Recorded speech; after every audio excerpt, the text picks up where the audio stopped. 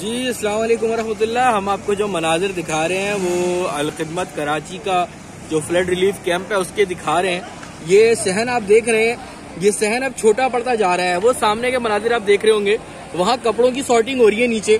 कपड़ों को अलग अलग करके फिर उसके बाद ज़रूरत के मुताबिक उनको पैक किया जा रहा है। ये नीचे आप देख सकते हैं, बहुत बड़ी तादाद के अंदर जो है वो राशन मौजूद है। इस राशन की सॉर्टिंग हो रही है, जो सामान आया है दादी सामान आया है उसकी सॉर्टिंग हो रही है। मैं आपको दिखाता हूँ कैसे सॉर्टिंग हो रही है। ये देख रहे हैं, यहाँ पानी की बोतलें मौजूद है, खाने पीने का सामान मौजूद है। अब आपको दूसरा हिस्सा दिखाते हैं जहाँ पे सॉर्टिंग हो रही है और वो किस तरीके से हो रही है, वो देखते जरा जाए आप। ये सामने का हिस्सा है, आप देख रहे होंगे, खाने पीने का जितना सामान है वो सामने बॉक्सेस के अंदर आपको नज़र आ रहा होगा। नीचे आपको आटे के थैले जो है सॉर्टिंग में नज़र आ रहे होंगे। उसके बराबर में जो है वो चावलों के थैले हैं, उसके बराबर में बेसन वगैरह मौजूद है और वो जो कुछ अशिया आपको नज़र आ रही है, वो नमक, चीनी, पत्ती और इस तरह की जितनी चीज़ें हैं, वो सब मौजूद है।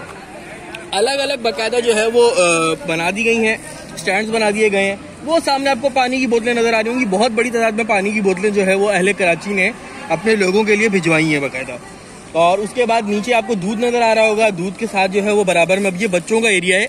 ये जो सामान लेकर आए हैं। इसमें बच्चों की मेडिसिन हैं, उनके पैम्पर्स हैं छोटा मोटा और जितना सामान होता है वो सब इसके अंदर मौजूद है।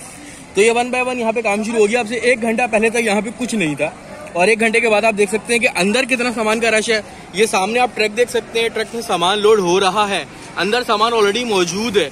और ये सारा सामान आज रवाना किया जाएगा। ये मजीद सामान की सॉर्टिंग के साथ साथ रवाना किया जाएगा। गाड़ियाँ मुसलसल आ रही हैं और गाड़ियाँ सामान पे सामान उतारती जा रही हैं।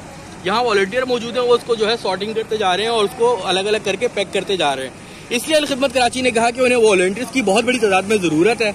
तो अगर आप भी अलखदमत कराची के साथ एज वॉल्टियर काम करना चाहते हैं तो ज़रूर आए और यहाँ पे काम में हिस्सा लें रोज़ाना दो घंटे। तो ये वॉल्टियर्स इस वक्त रात के बारह बजे भी यहाँ पे मौजूद है। कल का दिन है, परसों का दिन है, अभी मजीद एक्टिविटी जारी है। आप अगर खदमत कराची के साथ मिलकर एज अ वॉल्टियर काम करना चाहते हैं तो अपने आप को रजिस्टर्ड कराएँ और काम शुरू कर दें।